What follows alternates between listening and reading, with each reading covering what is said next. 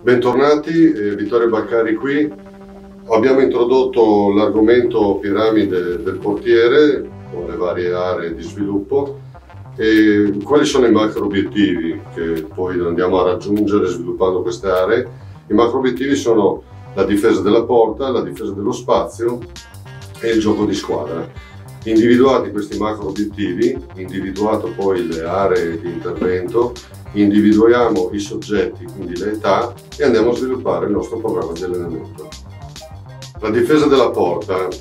Il portiere nasce per difendere la porta, sostanzialmente noi sappiamo per chi è stato portiere che l'obiettivo, il desiderio principale è quello di difendere la porta ed evitare appunto che il pallone oltrepassi la fatidica riga bianca e tocchi la rete. Quindi come concetto di difesa della porta dobbiamo eh, tenere conto di insegnare, addestrare nella presa della palla, nella presa della palla alta, nel tuffo, nell'uscita, eccetera, eccetera. Cioè tutti quelli che sono i gesti tecnici che eh, hanno come finalità eh, la presa della palla o la deviazione o la respinta.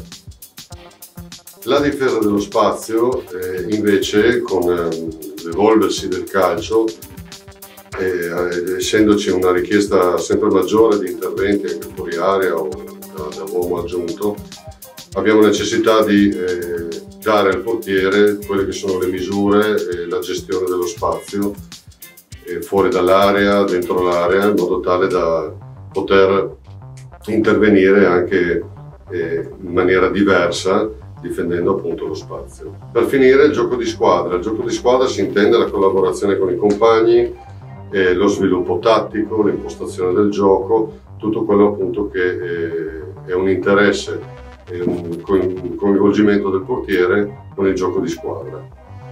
Ecco quindi che abbiamo generato i macro obiettivi, quelli che sono i macro obiettivi. Come possiamo andare a raggiungere questi macro obiettivi? Sviluppando le aree tecniche, quelle appunto che sono eh, inserite nella piramide. Quindi l'area tecnica, l'area fisico-psicologica, eh, l'area strategica e l'area tattica eh, del gioco di squadra.